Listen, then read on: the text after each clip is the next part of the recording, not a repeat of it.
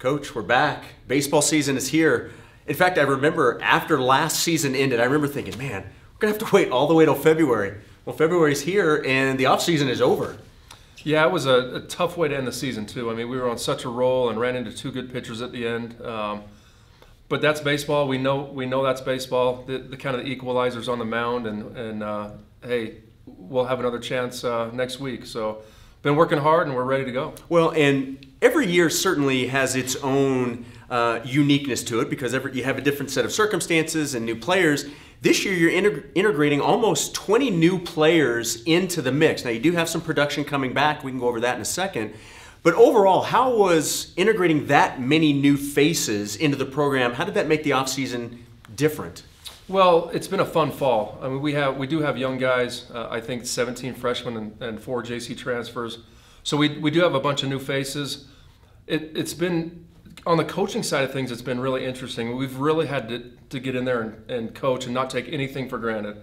In the past, we've had you know like a Jackson Cluff would be able to work with the infielders and teach the infielders and I look out there and there's like six freshmen out there that can't really teach one another, and so it's been it's been fun to get in there and really coach and see the growth and development uh, of these freshmen, uh, and and we're going to need you know 10 or 12 of them to step in step up this year and help us so it's going to be fun well and it's a, it's a highly touted class uh, number 16 in the country you guys getting a lot of national accolades for the recruiting class and you and, and, Coach Herring and the rest of the coaches that, that handle this have just done a fantastic job. So a lot of talent coming into the program. But as I mentioned, you do have production from last season that comes back. Two of your three outfielders are back. You have position players like Deming, catcher, and, and Abe Valdez, who mm-hmm. got some significant playing time last year.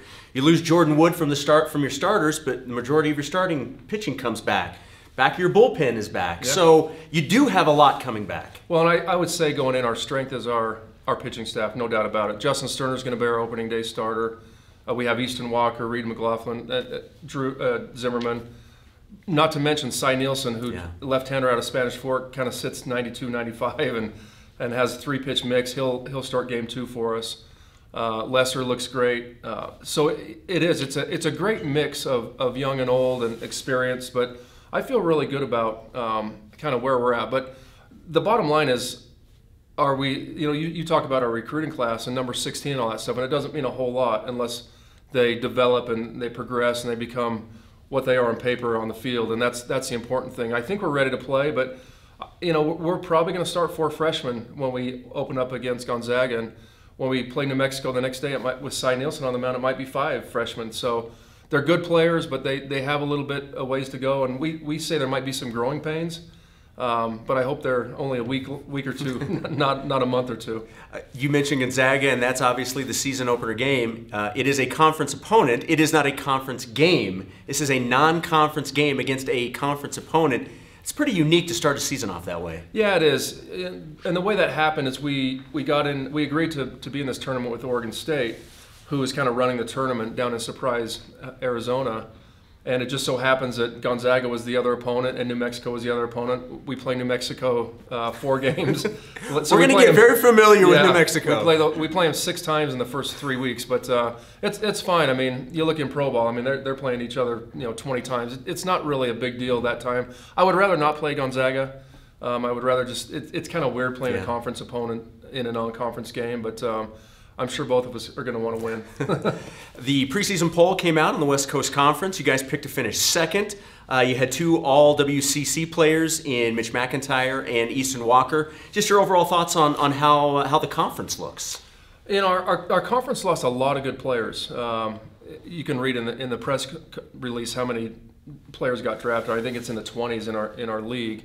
So we lost a lot, but uh, we do have a bunch of pitching back. Um, Frasso is going to be incredible um, up at, and, and, we'll probably see Jacob uh, with Gonzaga on Friday. So I, I, think overall the league's probably a little bit top heavy this year, but um, I'm just glad we didn't get voted first because we know what happened last time we got voted first, took last. Yeah. And so I, am I'm, I'm happy with, with second. I mean, I, I think we got the respect of a lot of the, the coaches in. Uh, and honestly, I don't I don't really look at that. We've talked about that before. I, I really don't look at all that stuff. I'm happy for Mitch and Easton. Um, I'm kind of surprised that Justin Sterner's not. Yeah. He, Justin's going to be dominant in this league and, and, this year. He developed a, a slider this year on the off, in the off season, and so he comes in with a high riding fastball that, that's going to be 92, 94, and an 83 mile an hour slider. He's going to be really, really good. I, I'd, I'd be surprised if he's not on the all conference team at the end of the season. So I feel good about our pitching and and really all aspects right now. Last thing before we wrap things up, heading into the the opening series, the thing you're most excited about with this team, and then your biggest concern heading into the first game. You know, gosh, it's almost the same thing. Um, I'm excited to see all these young kids go out and play. Um, but that also gives me some anxiety and some sleepless nights because you just you don't know how they're going to react. Um, so that's I'm excited to see Cy Nielsen play. I'm excited to see Carter Smith come out of the pen for us and um, another freshman, Cooper McKeon, freshman, um, McKay Johnson, who's a 6'6 right-hander from Atlanta, who's going to run it up to 95, come out of the pen. I'm excited to see those young guys. Brock Watkins is going to start at, at shortstop probably for us. Um, Andrew Pintar, who was a walk-on from Spanish Fork, and is going to start at second base for us first game.